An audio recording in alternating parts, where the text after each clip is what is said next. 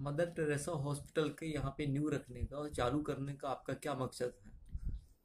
Mother Teresa hospital का मकसद ये है कि पन्ना के जितने सारे लोग हैं, उनके लिए कम रेट पे जितना अच्छे स्वास्थ्य की सुविधा दे सकते हैं, उसके लिए हमें खोले हैं।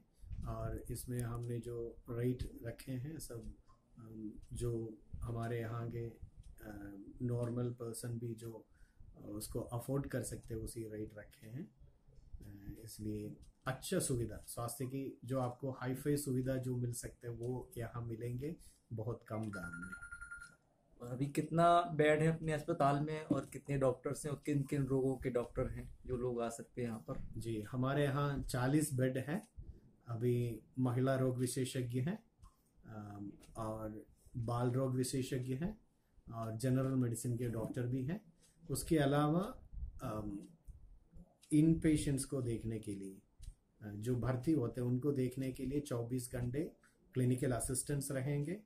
और उसके अलावा इमरजेंसी में 24 घंटे दो डॉक्टर्स रहेंगे।